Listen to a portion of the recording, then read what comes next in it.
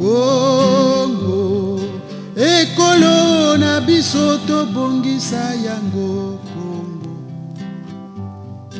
kongo ekolo monene Bonjour et bienvenue sur Congo Liberty. Nous recevons aujourd'hui Maury Louzala, intellectuel congolais, enseignant-chercheur euh, en France. Comment allez-vous? Ça va très bien. Alors nous sommes heureux, très heureux de vous recevoir de nouveau sur votre site, en tout cas euh, le site Congo Liberty que vous connaissez bien. Euh, nous allons avec vous passer un moment pour discuter de la situation politique euh, du pays et celle de l'Afrique centrale parce que le Congo est en- dans une zone aujourd'hui en, très grande turbulence.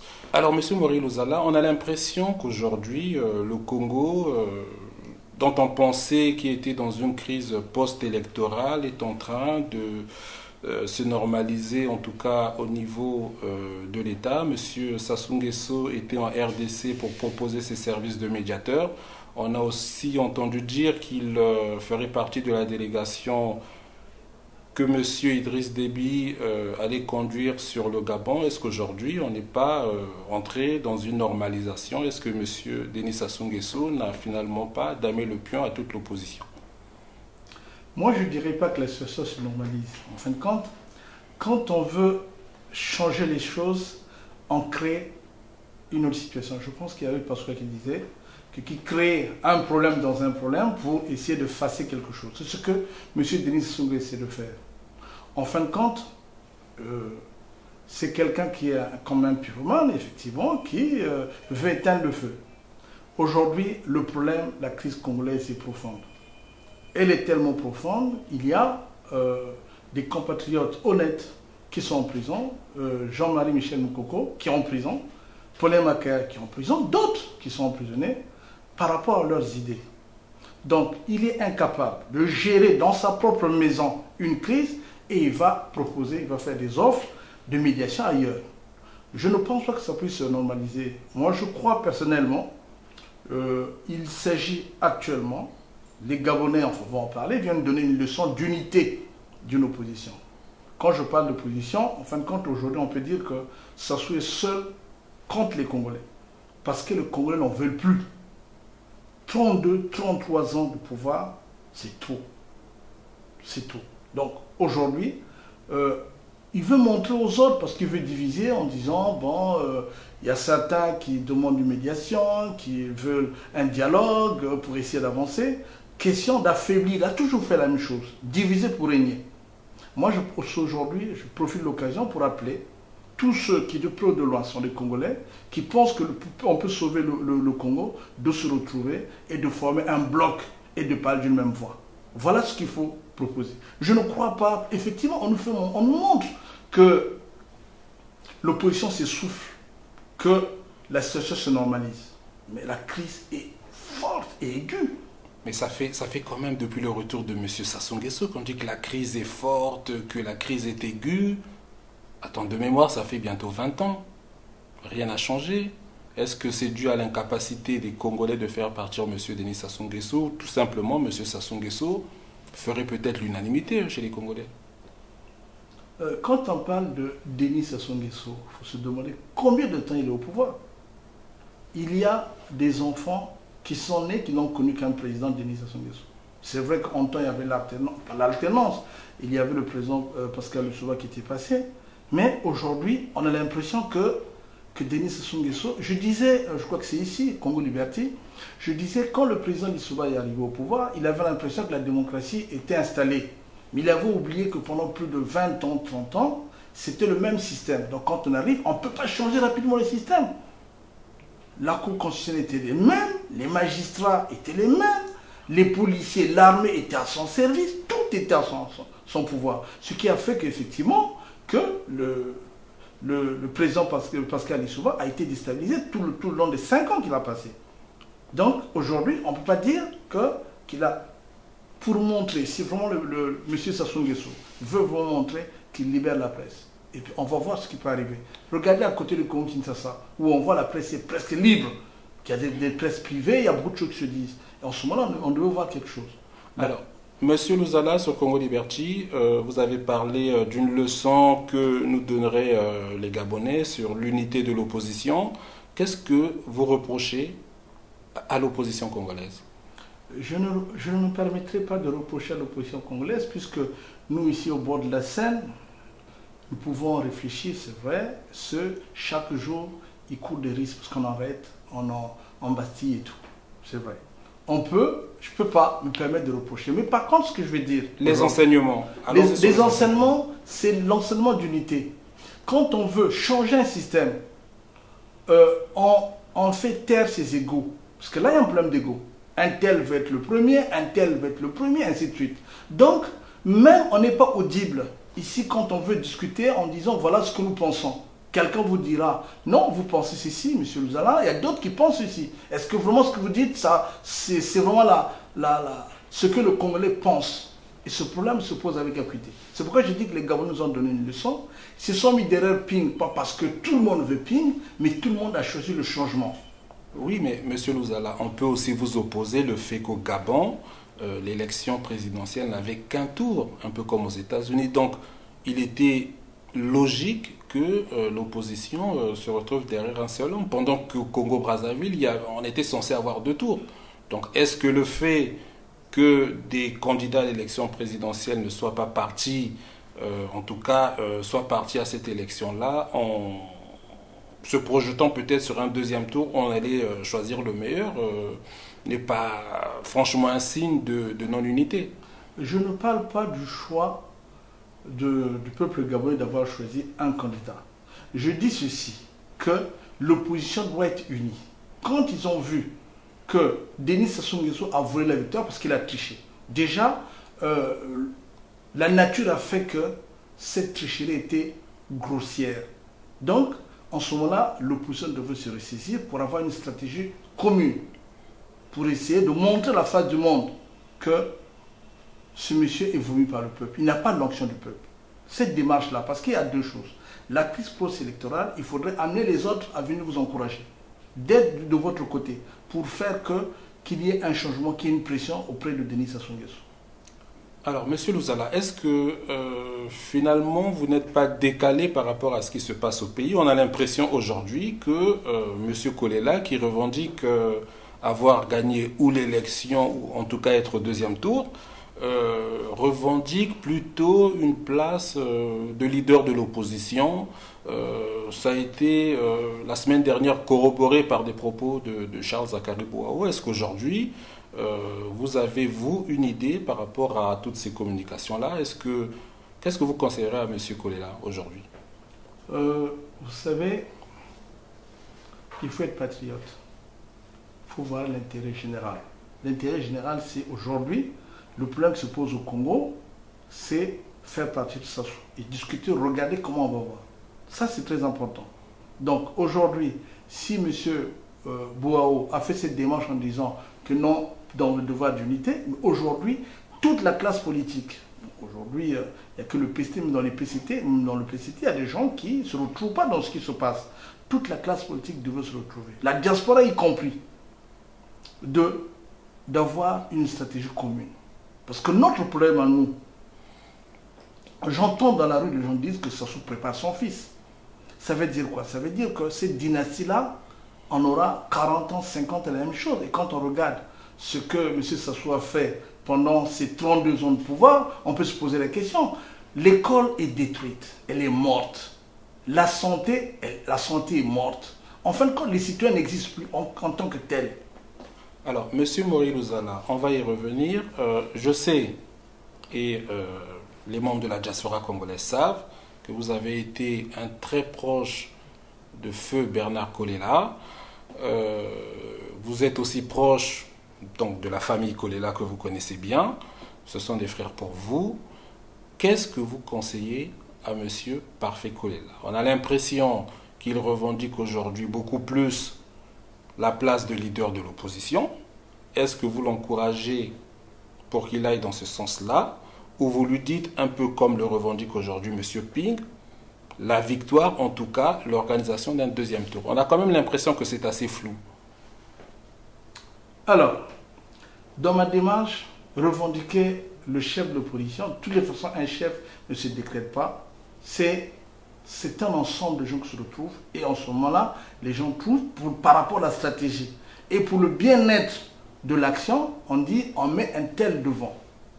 Déjà, il faudrait qu'il y ait une concertation, une large concertation avec les membres de l'opposition pour définir ce qu'il faut faire. Moi, personnellement, je ne vois pas une personne. Moi, je vois le Congo. Aujourd'hui, le Congo est en train de disparaître par rapport à ce qu'on voit. Donc, l'heure est grave.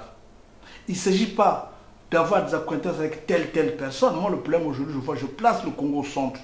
Donc, il appartient même à M.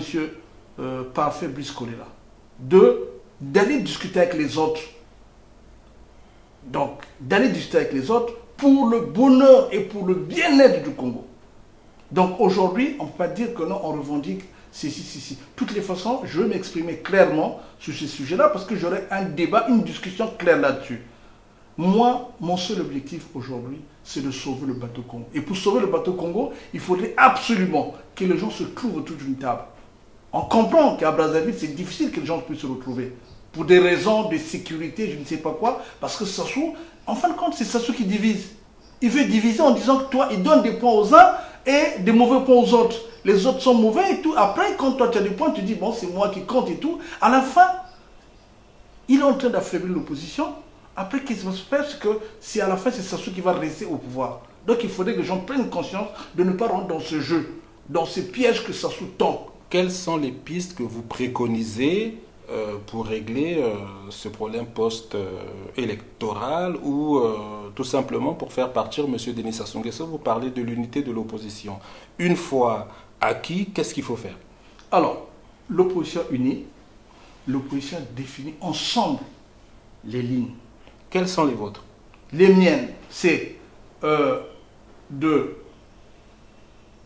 d'exiger une seule chose, donc se retrouver donc, autour d'une table. Donc, après, autour d'une table, l'opposition demande à, à- aux amis du Congo de, nous aider à ce que M. Denis Sassou Nguesso se retire. Parce qu'il n'y a qu'une pression. Si la pression est bien exercée par la communauté internationale, encore on fait dire la communauté internationale, c'est la France. Donc la communauté internationale, c'est la France. Aujourd'hui, il, nous- apparaît de faire un lobbying, pas un lobbying comme ça, mais un lobbying sur la base des résolutions prises par l'ensemble de la classe politique. C'est ça qui permettrait de faire quelque chose. Certains parlent d'une conférence. Cette conférence pourra se faire. Aujourd'hui, on pourrait effectivement proposer une porte de sortie à Denis Sassou. Mais à une condition qu'il accepte les conditions que nous posons. Parce qu'il peut prendre un, un peuple en otage. Ce n'est pas possible. Mais ça se fera que si l'opposition est unie, ils parlent d'une même voix. Pas pour dire que non, c'est un tel, c'est un tel. Quand je dis il faut s'inspirer des Gabonais, les Gabonais ont choisi Ping, plupart. Mais ce n'est pas Ping qui ont choisi. Ils ont choisi l'alternance. Ils ont mis Ping devant parce que Ping représente quand même les intérêts de la famille parce qu'il fait membre de la famille. Donc on fait, en fait, il y a deux membres de la famille qui se battent réellement. Ils se connaissent bien. Et bien en ce moment-là, ils peuvent effectivement euh, faire euh, détrôner euh, Ali, Ali Bongo. Quelqu'un d'autre ne pourrait peut-être le faire. C'est pourquoi on a vu les autres candidats se retirer. Alors, euh, pour faire un parallèle avec la situation euh, gabonaise, en tout cas euh, gabonaise et congolaise, on a vu une prise de position claire des autorités françaises sur la situation gabonaise. D'abord Jean-Marc Ayrault, le ministre des Affaires étrangères, ensuite Manuel Valls sur RTL, qui ont demandé le recomptage des voix. On a même aperçu François Fillon dans la marche organisée la semaine dernière par la diaspora gabonaise à Paris. Pourtant, il y a eu plus de morts au Congo, il y a eu plus de magouilles au Congo. Comment expliquez-vous que les Français prennent position en faveur de l'alternance au Gabon et pas au Congo-Brazzaville chez nous? Moi, je l'ai entendu en disant que les Français nous ont laissés. Mais euh, l'organisation est la pierre d'une réussite. Aujourd'hui, on peut accuser la France. Mais nous-mêmes, nous-mêmes, quelle est notre position? Il y a des uns qui disent A et d'autres qui disent Z. Il faudrait absolument que nous parlions d'une même voix. Aujourd'hui, on a vu les Gabonais, ils ont tiré des leçons de ce qui s'est passé au Congo. Il faudrait que nous parlons d'une voix. C'est-à-dire qu'aujourd'hui, nous disons, voilà, notre problème, il y a d'autres qui se présentent pour, qui se préparent aux élections législatives. Est-ce que vous pouvez accepter ça Qu'aujourd'hui, vous n'avez pas reconnu la nouvelle constitution? Et puis après, vous allez faire des élections, vous allez accepter cette constitution-là. Il y a un problème. On peut dire que nous avons accepté de faire l'élection, c'est une façon de montrer au monde entier la fraude, l'étendue de la fraude. Pour dire que Sassou n'a jamais gagné, là, ils ont réussi. Mais là, maintenant, il faut revenir en disant, voilà, nous, opposition congolaise, nous, Congolais, nous ne voulons plus de Denis Sassou Nguesso. Déjà, il a fait une forfaiture, il a parjure. Et aujourd'hui, lui-même l'a dit, quand la constitution est violée, le peuple, les démocrates doivent se lever. Il a dit. Il était conscient quand il a dit ça. Donc il sait lui-même. En faisant ça, on a vu sa position de serment, sa main tremblait. Donc il savait ce qu'il faisait. Mais aujourd'hui, il faudrait se ressaisir. C'est pourquoi je parle de, on ne peut pas dire c'est un tel qui va se présenter parce qu'il va avoir des députés. Non, aujourd'hui, quand on est patriote, on se dit, on ne peut pas accepter. On n'a pas accepté qu'on change la Constitution, puisque les tests ne permettaient pas. On se lève en disant, nous ne voulons pas de Denis Sassou Nguesso. Toutes les positions parlent d'une seule voix. En ce moment-là, quand le même cri va sortir du Congo, il va sortir de la France, des États-Unis, tout ça, nous pouvons, parce que les autorités françaises, il y a Montesquieu qui disait l'intérêt le plus grand monarque la vie. Quand ils voient que leurs intérêts sont menacés parce qu'ils savent que tout le peuple entier est contre Sassou, ils seront obligés de s'aligner. C'est ça le problème. Le problème, c'est les rapports de force dans la vie. Quand les rapports de force sont pas à votre faveur, eh bien, les gens qui regardent, qu'est-ce qu'ils vont faire? Pourquoi ils vont se mouiller? Qu'est-ce qu'ils vont gagner? Aujourd'hui, il y a plusieurs voix, plusieurs sons de cloche au niveau du Congo.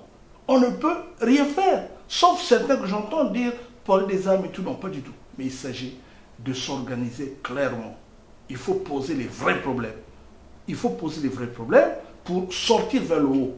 Donc aujourd'hui, c'est pourquoi je dis il faudrait que l'opposition soit unie. Si l'opposition est unie, on ne dira pas que non, c'est un tel, c'est un tel. Non. Ils parlent d'une même voix. On ne parle pas de la PACO, on ne parle pas de, de j 3 et tout. On va se retrouver. Et en ce moment-là, regardez euh, l'exemple de l'Afrique du Sud. Mandela est en prison. Les gens, l'ANC, sont battus. Sont tellement battus qu'on savait qu'il y avait quelqu'un qui était en prison. Et aujourd'hui, on a pu vaincre l'apartheid. Est-ce que personne. Moi, quand j'étais à l'école, on parlait de l'apartheid, on avait l'impression que l'apartheid ne peut pas tomber. Puisqu'ils avaient. C'était, ils avaient la bombe nucléaire, ils avaient beaucoup d'intérêt. Et le monde, je rappelle, il y avait Mandela, quand il était allé en, euh, en Angleterre, euh, autour de Thatcher, qui, euh, à un moment donné, il a se levé parce qu'il ne croyait pas. Le père a même dit que c'était un, un malfrat et tout. Après, il s'est rendu compte que non, parce que le peuple africain était uni derrière Mandela. Alors, Et on a eu ce, ce, ce, qui s'est passé. Cette unité-là, aujourd'hui, euh, on a parlé de la charte de la victoire. Monsieur Mokoko est en prison. Une résolution avait été prise pour dire si par malheur un euh, signataire de la charte de la victoire était emprisonné, que les autres, euh, par solidarité, se feraient prisonniers avec lui. Ce n'est pas du tout le cas. Est-ce que Monsieur Mokoko, finalement, a comme principal adversaire non pas M. Sassou Nguesso, mais plutôt les autres euh, candidats de l'opposition. Est-ce que monsieur, comme me dit euh, un ami, euh, M. Mokoko est venu mettre à nu le business entre les hommes politiques congolais? Aujourd'hui, en jetant la pierre sur les autres hommes politiques congolais, c'est vrai que nous renforçons le pouvoir de Denis Sassou Nguesso. Moi, je ne dirais pas ça. je, maintenant que je, toute ma pensée va euh, vers M. Jean-Marie Mokoko qui se bat, qui a refusé de reconnaître le pouvoir d'Élise Nguesso. Moi, je lui tire vraiment mon chapeau. Et, euh, euh, mais quand on parle de business, moi, je ne voudrais pas. L'opposition fait toujours la soustraction. C'est-à-dire qu'il enlève des gens, il enlève des gens et c'est Sassou qui les récupère. Aujourd'hui, moi, je voudrais qu'on fasse la soustraction, c'est Sassou, au niveau du PCT, qu'on enlève les gars du PCT pour l'isoler il faut mettre les gens devant leur responsabilité. Ils ont pris une charte. Il faut la respecter cette charte-là. Aujourd'hui, mon coucou en prison. Les autres, j'ai entendu certains oppositions pour dire que non, euh, lui c'était un militaire, euh, moi je suis homme politique. Mais lui, en tant que politique, qu'est-ce qu'il a fait? N'a pas choisi la situation du Congo. Moi, je pense qu'aujourd'hui, utilisant notre langage, amenant vers un rassemblement large de tous les membres, de tous ceux, tous les patriotes. Dis-moi pas l'opposition, je veux au-delà de l'opposition, tous les patriotes, pour dire que non, Sassou ne peut pas prendre en étage le Congo. Alors, euh, il y a une autre question qui commence à faire couler beaucoup d'encre, c'est la clandestinité de monsieur euh, Okombi Salissa. Est-ce que vous la comprenez? Est-ce que vous considérez euh, finalement qu'en tant que général, puisqu'il était président de l'IDC, qu'il a euh, finalement euh, déserté la bataille Quel est votre euh, Moi je, avis dirais, à ce sujet? moi, je dirais ceci, dans une guerre, s'il faut parler termes militaires, si le général se fait capturer, la guerre est finie parce qu'à peu près toute la- tout- tout- tout- tous les gens sont pris. En principe, un général ne se, ne se donne pas. C'est-à-dire qu'on aurait bien voulu JMK ne se constitue pas prisonnier, se mettre quelque part, se mettre quelque part parce qu'il peut. C'est le cas du général de Gaulle qui s'est réfugié à Londres pour donner les ordres. Imaginez un seul instant pendant la guerre que le général de Gaulle avait été arrêté. Ce serait difficile. Je ne veux pas dire de combien ça dit ça, mais moi personnellement, vous voyez, vous allez voir ma démarche, c'est une démarche de je mets le Congo au centre. Monsieur Maurice Lozala, euh, j'entends bien. On vous demande votre avis sur une question claire. Après, on peut comprendre qu'un responsable politique entre en clandestinité parce qu'il est en danger. Après, moi, je n'en sais rien. Mais est-ce que vous avez un avis à ce sujet Parce que les gens commencent à se poser des questions? Tout à l'heure, je ne sais pas si en, donnant cette parabole-là, je pas donné avis. J'ai dit ceci.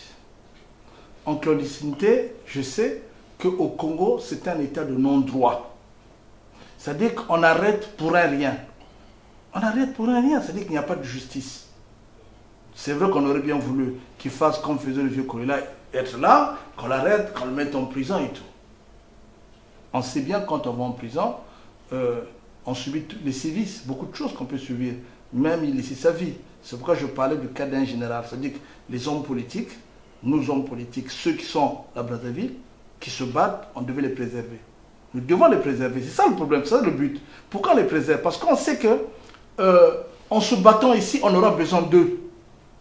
Moi, vous ne me verrez jamais lancer des critiques sur un an d'opposition qui se battent chaque jour. Je ne peux pas. Parce que je pense qu'aujourd'hui, on a besoin d'eux. On a besoin d'eux. La seule chose, le seul reproche que je veux faire, c'est qu'ils restent unis. C'est très important pour, pour nous. Qu'ils soient unis et qu'ils parlent d'une même voix. C'est ça le problème. Donc, aujourd'hui, on dit qu'il est en complicité, il est à côté. J'entends beaucoup de choses que les gens disent que non, il est en complicité, il va à gauche, à droite, tout ça. C'est pas ça. Le problème sur lequel? C'est qu'aujourd'hui, il a peut-être eu raison de ne pas se livrer, comme s'est livré, on a vu une sourou, qui à un moment donné, il parlait, il s'est dit que les militaires, les AEC vont intervenir et tout ça, on a vu ce qui s'est passé. Le général Moukoko, qui était quelque part caché quelque part, on ne pas, il est revenu dans sa maison, on l'a mis en prison, sans motif valable. Oui. Et Oui, mais attendez, euh, monsieur Louzala, euh, on va terminer euh, quand même sur ce propos. On peut quand même inviter monsieur Okombi Salissa de faire des cassettes comme le font des leaders politiques qui sont en clandestinité, en tout cas pour euh, continuer à, à rev- à revi- revigorer euh, le peuple congolais. Une Ça- cassette vidéo euh, diffusée sur les réseaux sociaux, ça peut se faire. en principe, pour le moral des troupes, oui, comme le général de Gaulle. Il peut effectivement lancer des messages pour essayer d'animer ça, il, il peut le faire. Mais on ne peut pas le reprocher de, de- pas de se cacher, d'être en clandestinité. On ne peut pas le faire ce reproche-là. Parce que il y a un problème de, maîtrise du terrain aussi. On ne peut pas le reprocher ce genre de choses. C'est-à-dire qu'aujourd'hui, aujourd'hui, c'est pourquoi est-ce que la classe politique congolaise échoue. Parce qu'ils placent au centre l'intérêt général. Euh, moi, je crois qu'aujourd'hui, il n'y a pas de présidentiable et tout ça maintenant. Aujourd'hui, notre problème, c'est de sortir de cette situation. Comment pouvons-nous sortir de cette situation-là? Pour sortir de cette situation, effectivement, il faudrait absolument mettre à nu Sassou Nguesso. Il faut le dépouiller de tout ce qu'il fait. Donc, pour le dépouiller, il faut être que l'opposition soit unie et qui parle. Parce que là, la radio, la presse, c'est entre les mains de Denis Sassou Nguesso. Il ne peut pas parler. Peut-être que nous, ici, on avons comme liberté, nous pouvons parler. D'accord Des réseaux sociaux. Il arrive au Congo, quand tu vois certaines choses, on peut, courant, on peut couper l'Internet, on peut couper tout et les gens ne puissent pas suivre. Et déjà même, les gens qui nous suivent, il faut avoir un peu d'argent pour pouvoir se connecter et tout. Ce n'est pas, pas donné à tout le monde. C'est donné aux ministres qui peuvent suivre facilement. Vous voyez? Monsieur Maury Lozala sur Congo Liberty. Alors, Monsieur Lozala, je sais que vous réfléchissez beaucoup sur les questions éducationnelles. Vous êtes euh, enseignant-chercheur en France. Demain, en tout cas, on dit que le système euh, éducatif au Congo est par terre. Est-ce que vous avez euh, des pistes de réflexion? Ou est-ce que vous pouvez tout simplement nous donner euh, quelques grandes idées, des réflexions que vous menez sur le Congo? Le système éducatif, est-ce qu'il faut en parler maintenant? Mais je vais en parler quand même parce que la situation est tellement chaotique, les gens ne peuvent pas. Mais moi, je pense qu'aujourd'hui, pour il faut faire une réforme. La réforme se fera que quand l'état de droit sera installé. Une fois l'état de droit Une fois l'état installé, aujourd'hui, nous avons pris beaucoup de retard, des siècles de retard. Donc, pour essayer d'aller euh, transformer les choses, moi, je fais une démarche. Moi, je parle de l'existant. C'est-à-dire qu'il y a l'existant, comment l'enseignement se fait et tout. Donc, j'aurais bien voulu. Je regarde au départ, il faut faire ce qu'on appelle les états généraux d'éducation décentralisée. C'est-à-dire qu'on va dans des, dans des régions, à Brazzaville, on pose des questions aux gens, les gens se retrouvent, ils discutent, ils échangent. Et de là, une fois qu'on aura recueilli toutes les informations, on appelle ceux de la diaspora qui sont allés, qui ont vu comment le système fonctionne. Parce que là, aujourd'hui, on peut regarder que le système francophone, il faut voir le système anglo-saxon, parce qu'il y a quand même pas mal d'évolution. Donc on appelle ceux de la diaspora venir pour regarder ce qui existe. En ce moment-là, quand ils vont regarder, ils vont établir quelque chose, ils vont donner des pistes. À partir de ces pistes-là, nous pouvons effectivement engager une réforme en profondeur. Parce que ce qui est, grave, c'est qu'aujourd'hui, quand on prend un élève de licence, quand il vous écrit, vous avez l'impression que c'est un élève de CM2 ou CM1. Donc il y a un souci. Il y a vraiment un grand souci là-dessus par rapport à la formation. Donc, on ne peut pas prendre ça à la légère, c'est une question capital, fondamental. Ce qu'on appelle la jeunesse, le creuset de la nation. Donc, il faut vraiment, pour les former, il faut absolument aller au fond des choses. Je ne veux pas rentrer dans les détails et tout, mais j'ai donné en gros les grandes lignes d'une réforme de l'éducation nationale au Congo. Alors, euh, on va terminer euh, par euh, l'activisme aujourd'hui de la société civile congolaise, en particulier en tout cas il n'est pas seul, hein, on va le rappeler ici, de M. Alain Mabankou. Est-ce que l'heure n'est pas venue aujourd'hui pour que la société civile congolaise ne laisse plus le destin du Congo exclusivement aux hommes politiques congolais? Moi je disais que je prends ma main, comme on disait à l'école primaire, il y a cinq doigts. D'accord? Chacun doit jouer une partition. Euh, une société civile affaiblie pose un problème réel. Donc M. Mabankou, moi je le, je le félicite en tant qu'intellectuel.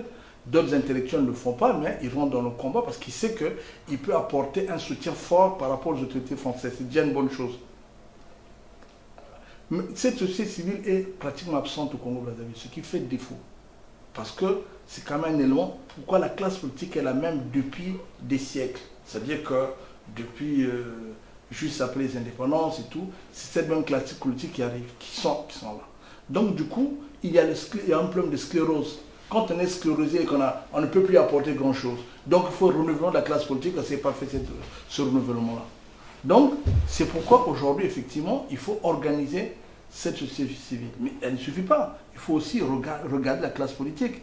Il faudrait qu'il y ait une refondation de la classe politique. Des partis politiques qui existent sont des partis publics tribaux, de familles, des choses comme ça, sont des épiceries familiales.